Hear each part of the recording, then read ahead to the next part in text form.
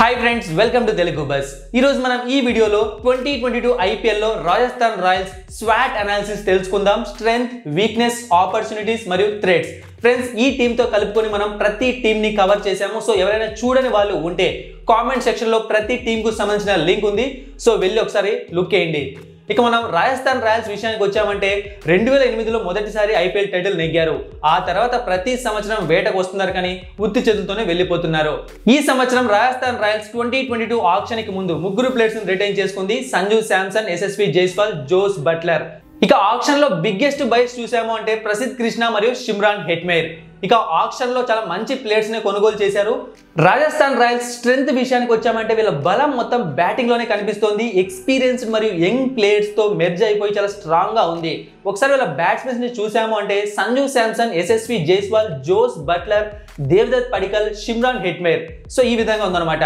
ఇక bowling department కూడా చాలా స్ట్రాంగ్గా కనిపిస్తోంది. స్పిన్ డిపార్ట్మెంట్లో రవిచంద్రన్ అశ్విన్ మరియు యుజ్వేంద్ర చాహల్ని తీసుకున్నారు. ఇండియాలోని one of the best spinners so spin డిపార్ట్మెంట్కి వీళ్ళకి ఎటువంటి భయం లేదనమాట ఈ ట్వంటీ ట్వంటీ టూ ఐపీఎల్లో ఇక ఫాస్ట్ బౌలింగ్ ఆప్షన్స్ చూసాము అంటే ప్రసిద్ కృష్ణ మరియు ట్రెంట్ బౌల్ట్ ఉన్నారు.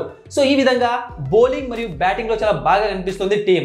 ఇక మనం రాజస్థాన్ రాయల్స్ వీక్నెస్ విషయానికి వచ్చామంటే ఆల్రౌండర్స్ విషయంలో వీళ్ళకు వీక్నెస్ కనిపిస్తుంది. ఎందుకంటే జిమ్మీ నిషామ్ రియాన్ పరాగ్ ఖచ్చితంగా ప్లేయింగ్ ఎలెవెన్లో ఉండే అవకాశం ఉన్నప్పటికీ వీళ్ళు ఇంతకు ముందు అంటే కొన్ని సంవత్సరాలుగా సరిగ్గా పర్ఫామ్ చేయడం లేదు ఐపీఎల్లో. కన్సిస్టెన్సీ లేదు.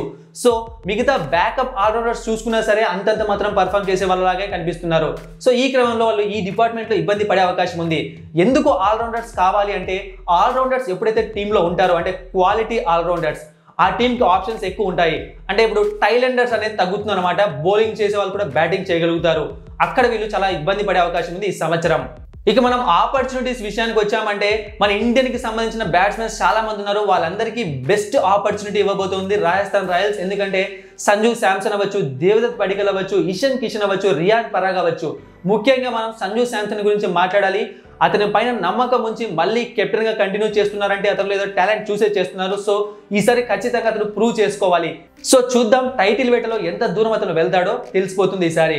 ఇక దేవదత్ పడికల్ మరియు యశస్వి జైస్వాల్ కూడా చాలా మంచి ఫ్యూచర్ ఉంది ఇండియన్ ఫార్మాట్లో వాళ్ళకి ఇది ఉపయోగించుకోవడానికి చాలా మంచి అవకాశం. ఇక మనం థ్రెడ్స్ విషయానికి వచ్చామంటే బౌలింగ్ డిపార్ట్మెంట్లో అంటే ఇంతకుముందు చెప్పినట్టుగా మంచి బౌలర్స్ ఉన్నారు.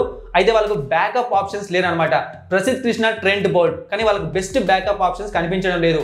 సో అందుకే ఇంతకుముందు చెప్పుకున్నాము ఒకవేళ టీంలో క్వాలిటీ ఆల్రౌండర్స్ ఉండి ఉంటే వీళ్ళకి బ్యాకప్ అంటే ఒకవేళ వీళ్ళు కొంచెం అటు ఇటుగా పర్ఫామ్ చేసినా వాళ్ళు కవర్ చేయడానికి కుదిరేది. సో ఈ విధంగా వీళ్ళు ఇబ్బంది పడే అవకాశం ఉంది. ఇక మనం కంక్లూజన్ విషయానికి వచ్చామంటే రాజస్థాన్ రాయల్స్ బ్యాటింగ్లో మరియు స్పిన్ డిపార్ట్మెంట్లో సూపర్గా ఫెంటాస్టిక్గా ఉంది. అంటే వీళ్ళు మాత్రమే పర్ఫామ్ చేస్తే మ్యాచ్ గెలుస్తుంది అనుకోవడం తప్పైతుంది కదా. సో మిగతా వాళ్ళు కూడా పర్ఫామ్ చేయాలి. కొంచెం కష్టపడితే పెద్ద పెద్ద టీమ్స్కి ఈజీగా పోటీ ఇవ్వగలదు ఈసారి రాజస్థాన్ రాయల్స్. అంటే ముఖ్యంగా చూసుకోవాల్సింది ఆల్రౌండింగ్ డిపార్ట్మెంట్ దాని ప్లేయింగ్ ఎలెవెన్లో ఎలా సెట్ చేస్తారో చూడాలి.